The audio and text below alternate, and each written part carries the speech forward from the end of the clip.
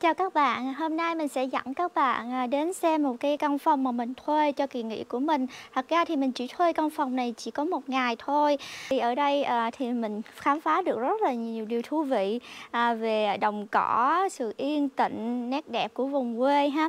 Thì à, trước tiên thì mình sẽ dẫn các bạn đi xem mà căn phòng à, mình thuê Đây là căn phòng của mình thuê đây. Thật ra thì không phải là thuê hết căn nhà. À, Ở đây thì cũng có nhiều căn phòng. À, Mình chỉ thuê có một căn phòng đủ cho hai vợ chồng thôi. À, Bây giờ mình sẽ dẫn các bạn đến xem căn phòng của mình như thế nào nhé. Đầu tiên thì mình giới thiệu các bạn. Đây là phòng khách cũng như là phòng ngủ.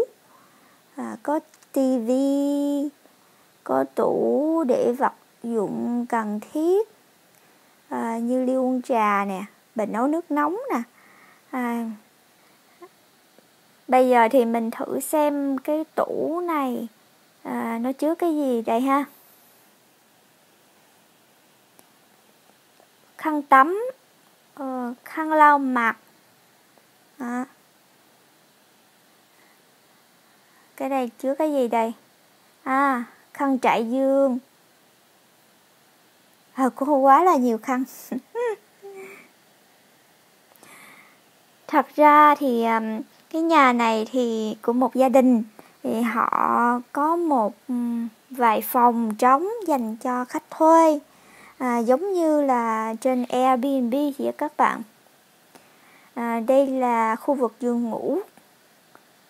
Cạnh khu vực này thì à, có cái kệ sách và bàn bàn đọc sách. Xem xem ở đây có cái gì đây?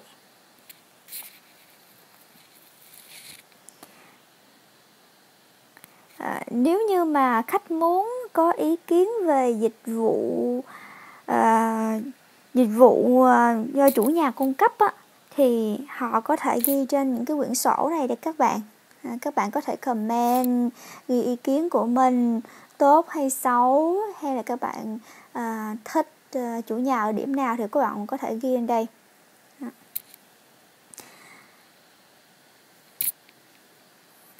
Cái giường ngủ thì được trang trí rất là khá dễ thương ha.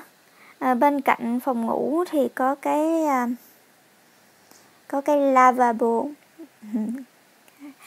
Đó, các bạn xem cái cái lavabo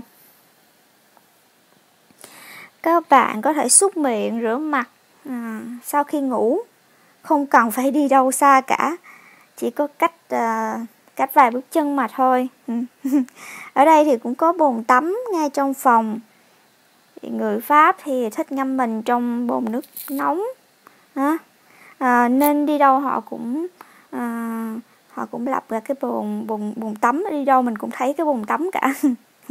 Dành cho vợ chồng à, hoặc là để dành cho à, có con à, cái gì đó muốn vui chơi tắm rửa ở đây thì nói chung là cũng rất là tiện lợi đó các bạn.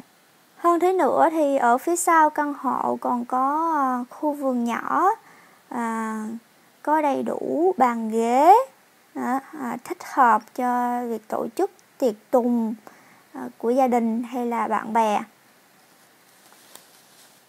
Thì tiếp theo mình sẽ dẫn các bạn à, đi à, tham quan cái khu vườn nhỏ này ha.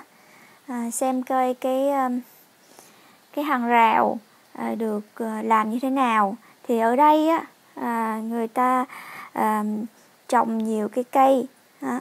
à, rồi à, người ta nắng nót lại à, và làm thành cái hàng rào thì à, người trong gia đình thì có thể là cắt cái cái cái cây cỏ để mà tạo à, nên cái hình dáng của cái hàng rào của mình. Hoặc là họ có thể uh, thuê người làm vườn để mà lại cắt cây cỏ cho họ. Về phía bên trái thì như thế nào đây? À, ở đây là cái gì? Thêm một cái bồn tắm nữa. mà cái này thì chắc là để làm decor thôi à, tức là trang trí chứ nếu không thì người ta thấy hết vì không phải chỉ một mình ở nhà mà còn có gia đình khác nữa các bạn ạ à. bởi vì um, mình thấy ở trên lầu á, thì có vài căn căn căn hộ nữa ha. nếu mà họ mở cái cửa sổ rồi nhìn xuống ha, là thấy hết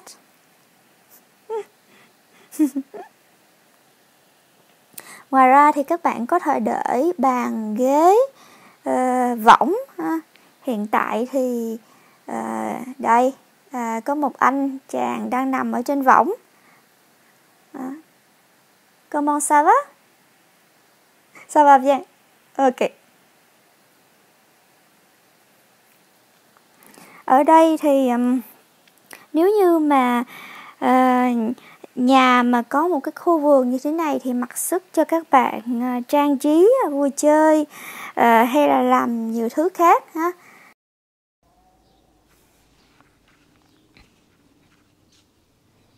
Đến đây là hết rồi. À, mình cảm ơn các bạn đã theo dõi clip của mình. À, mình mong gặp lại các bạn à, lần sau nhé. Chào các bạn, chúc các bạn ngày vui vẻ.